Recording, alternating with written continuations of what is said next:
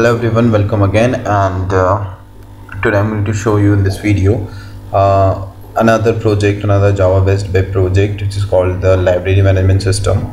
So the project is completely built in uh, jsp servlets and uh, you can say j2ee and uh, it's following the complete mbcm archit uh, architecture and built in by the help of maven tool. So here you can see the source code uh, which is completely following the MVC architecture. And for the front end I'm using JSP and HTML and JavaScript CSS things. And to maintain the database I'm using the MySQL workbench on this and uh, MySQL database. And to run this project I'm using the Tomcat server. Right so i'm going to show the demo the functionality and features of the project. So i'm going to run this. Side click click on run server select a server. It's going to run. So this will be the home page of the application. Uh, here you can write your logo or you can check change the you can change that uh, uh, logo here or text here and here is the welcome to library management system message. You can change the message according. And here is the footer part which is the demo content is there. If you want change you can change that content as well easily. So first i'm going to log in as an admin. So there will be two uh, actor of the application. Like first one will be the user and the another will be the admin. So i'm going to first log in the as admin. So once admin will successfully logged in uh, there will be some module. So the first one is user module. Here the admin can see the data complete data of the user in the application right? So there are three users right now on the database. So it's showing the three records and the detail of the user. Now and this user can can search a student name any student.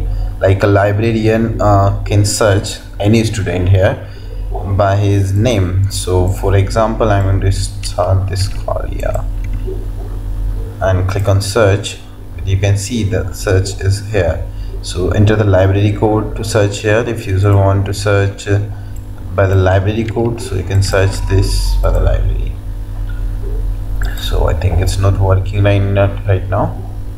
No uh, there is a two uh, searching uh, inputs are there so Kalia and so this combination is not there that's why we need to remove this and now I hit the search button you can search. Right.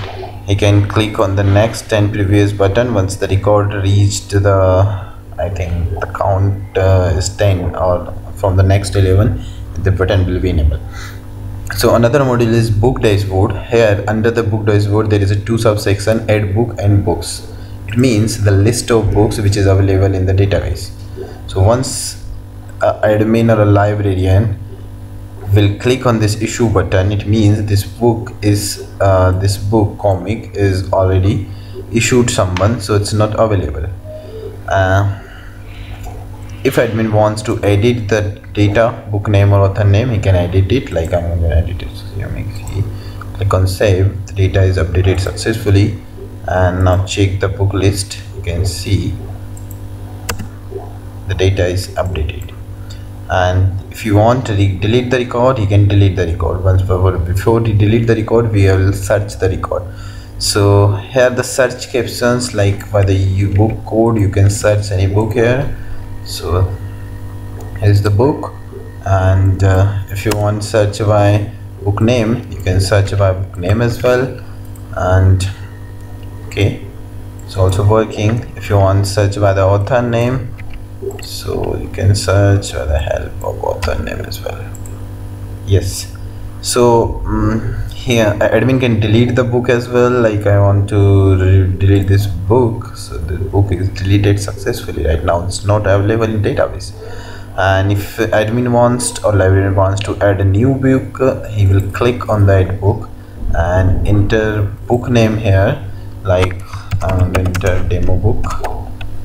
Book name and the author name will be the demo book name author. Just I'm going to click on save button. The data is saved successfully. Now again we are going to check the books to confirm. So here is the new entry is there already. So when I click on that issue button this book will be issued to any student. So the book code is this and we need to student code number. We need to enter here the student code number. That code number will you can check in the database first or if you take a real-time scenario you can check the on the card of student. There will be a card to student. Uh, that code number will return on that uh, that id card. And for now i'm going to check the in database so here is a database for library management. So we should book user.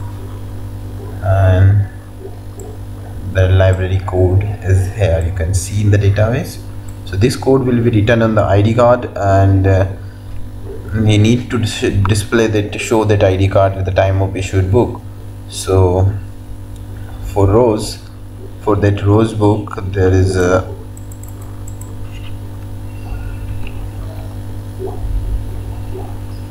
source code for the student. Is the source code of the student. Issued date. I am going to issue today. Return date will be 28 let's click on save. Yeah data is successfully booked. Sorry data is successfully saved. And uh, now check the issued book or you can check the book list again. You can see it's issued once. That means it will never going to issue again to any anyone any other student after uh, he can once this button is enabled then he can uh, issue the book again. Now check the issue list issue book. So we need to um, enter the book code here and the student code here and all the that things will work similarly. And once I click on the issued book receipt so you can check uh, whom the book is uh, issued already. And uh, here admin can change the password. And once I click on the logout and uh, going to log in as a user going going login as a user. So the user I need to check in database. So here is the user and password. So I'm going to enter the username first then the password yeah.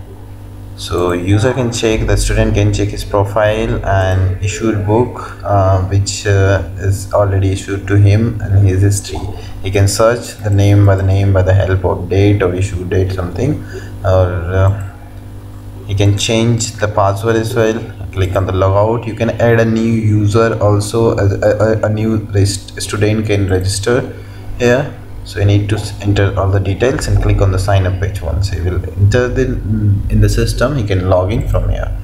So thank you so much for watching. If you like the video and uh, please if you want the source code for your college submission or your final year project or your minor uh, minor project or if you want to submit this in your college or if you want this for learning purpose you can contact me. The contact detail will be provided in the description box so you can send me a message on skype as well for quick reply. And uh, the complete article regarding the price of the project and uh, and the functionality of the project the technology what i'm going to use i'm going to i will write an article write an article and you can check that on the below link which i'm going to provide in the description box. So thank you